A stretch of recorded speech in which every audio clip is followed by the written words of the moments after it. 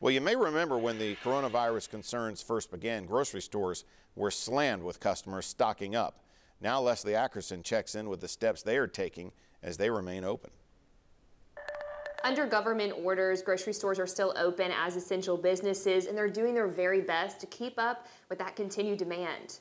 Our customers want us to be open, cleaned, and stocked. It's those three words that Melissa Eads says Kroger has been working to achieve daily. We slowing down a little bit. Our stores aren't as busy as they were. That's allowing us time to, to catch up, to replenish, to restock. So um, we're recovering, so to speak. Kroger is one of many companies to alter their hours to allow for more cleaning and stocking.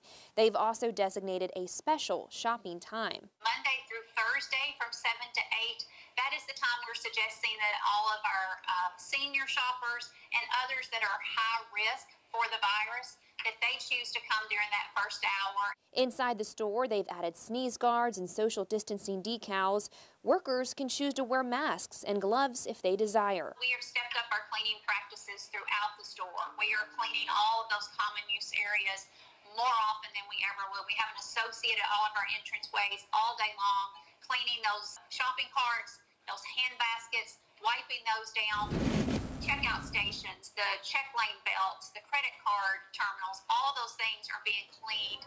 While the rush has slowed a little, stores are still working 24 7 to keep supplies stocked with items like that coveted toilet paper. Still a strain there, still just going to be kind of hit or miss. The product is flowing in, it's just we aren't getting a huge supply because it's having to be shared with everybody. And of course, as soon as it arrives, it, it is is bought and gone.